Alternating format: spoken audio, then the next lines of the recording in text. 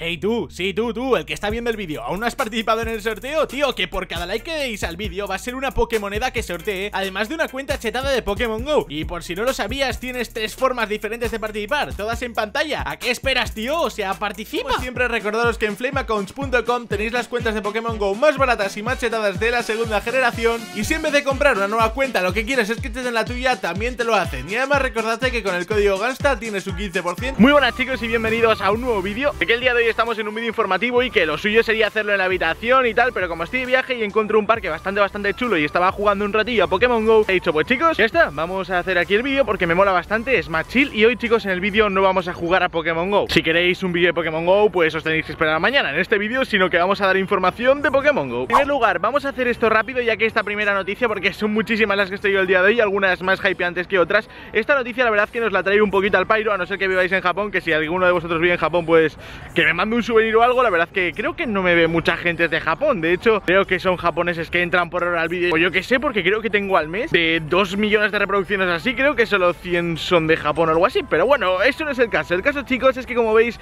Hay un evento de Snorlax para Pokémon GO solo en Japón. En este caso, chicos, pues digamos que han vuelto a hacer lo que hicieron con Lapras Y es que solo en un territorio de Japón La verdad que no estoy muy seguro de qué territorio es Del día 4 al día 13 de este mes Pues van a tener un evento de Snorlax En el que van a poder capturar Snorlax Va a aparecer de una manera muy muy abundante Es decir, como si fuese un maldito vaya Como pasó con los starters en el evento que hicieron aquí de fin de año.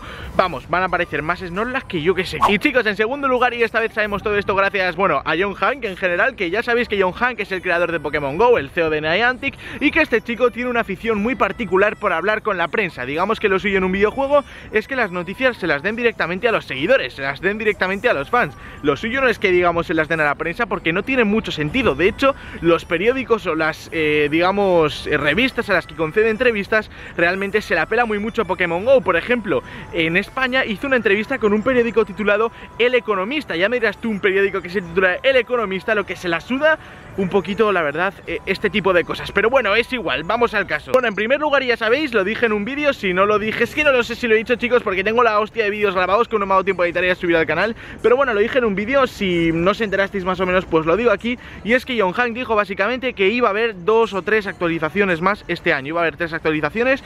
Este año de momento hubo una actualización, eh, que es la de la segunda generación Y que a partir de esa actualización, una vez por trimestre Es decir, eh, los primeros tres meses una Bueno, sabéis lo que es un trimestre, ¿no? Tres meses, un periodo de tres meses pues un año tiene cuatro trimestres, pues una vez por trimestre iba a sacar una actualización de Pokémon GO. Una actualización tocha, no obviamente un evento, no obviamente no, no, sino una actualización, señora actualización. Pues en este caso y de nuevo gracias a la gente de la prensa hemos podido saber que esta actualización es, eh, digamos, la remasterización, el rework de los gimnasios. Esto lo estamos leyendo aquí de la web de Pokémon Go Hub y básicamente nos dicen que el Gym Rework va a ser la próxima gran actualización que va a tener Pokémon GO por si no lo sabéis, John Han quiere hacer algo parecido con los gimnasios a, digamos, eh, los portales de Ingress, pero bueno, os lo voy a poner más fácil. Imagino que todos conoceréis Clash Royale, pues digamos que quiere hacer los gimnasios parecidos a los clanes de Clash Royale, es decir, como hacerlo más colaborativo, como que, por así decirlo, tú puedas crear un grupo con gente y con esa gente poderte poner a jugar, a eh, conquistar gimnasios y hacerlo de forma más colaborativa. Digamos, no hacerlo tan autista de eso de ir a un gimnasio que planta ahí un tío y ponerte a jugar y demás, no, no, sino hacerlo de forma más colaborativa, que tiene bastante sentido las cosas como son. Y chicos, según John Hank, aunque para muchos de vosotros seguramente no, eh, bueno, pues el sistema de gimnasios actualmente está incompleto. La verdad es que no entiendo muy bien esto de que esté incompleto, porque para mí los gimnasios sí que es cierto que encuentro que les faltan cosillas y demás, pero digamos, no es algo en lo que me centraría actualmente, pero bueno, si el creador de Pokémon GO lo cree así, él es el que sabrá, digo yo, ¿no? Al fin y al cabo son sus dólares. Y bueno, pues básicamente aquí dice que ha aprendido gracias al juego de Ingress la importancia de hacer que las comunidades crezcan juntas, básicamente que yo te diga el feedback, básicamente. Aunque me parece un tanto extraño que Niantic hable de feedback, puesto que Niantic es quizás la empresa que menos feedback da del mundo, pero, pero bueno, en fin, o sea, de hecho todo lo que nos enteramos de Pokémon GO es por la prensa, no precisamente porque nos lo digan directamente, pero vale. Y palabras textuales de John Hank, aunque las voy traduciendo sobre la marcha, porque como lo diga en inglés, pues madre mía, vamos a reworkear este gimnasio, el aspecto de los gimnasios para el juego, para que la gente, para que sea algo más eh, de team, es decir, eh, para promover el teamwork, digamos, y que la gente eh, sea más,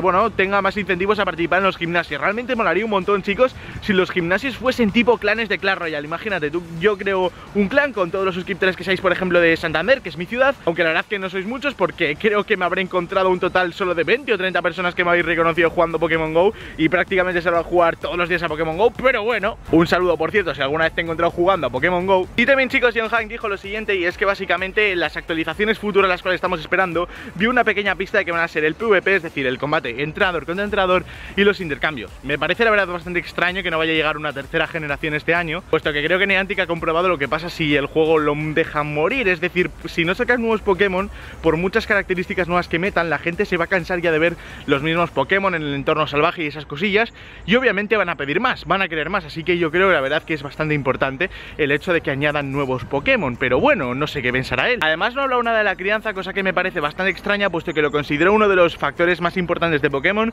junto con el temilla este, bueno, pues de los intercambios y el PvP, sí, son las cosas por las que Pokémon más se caracteriza, pero es que el tema de la crianza también es algo bastante importante y sobre todo teniendo en cuenta que acaban de sacar la segunda generación, lo veo bastante importante, pero bueno, parece ser que para él no lo es. Chicos, y esto es una muy buena noticia, dijo que este 2017 vamos a ver los eventos de los legendarios y lo hizo además de una forma muy directa, palabras textuales. Bueno, eh, dijo básicamente lo siguiente y es que los Pokémon legendarios Mewtwo, Mew y los tres pájaros legendarios Pokémon elementales eh, que pude decir seguramente los veramos, que, que veamos más de esto en este 2017. Básicamente a lo que se refiere con esto, por lo menos bajo mi punto de vista personal, es a que obviamente los van a sacar en 2017 y que no pueden decir en plan, eh tío, vas a tener los pájaros legendarios. Yo no sé la verdad, qué afición tienen esta gente con ocultar. Pero bueno chicos, básicamente estas han sido las noticias del día de hoy. Espero que os hayan molado muchísimo. Y ya sabéis chicos, un like favorito estaría muy bien. Suscribiros para más y nos vemos en la próxima. Adiós.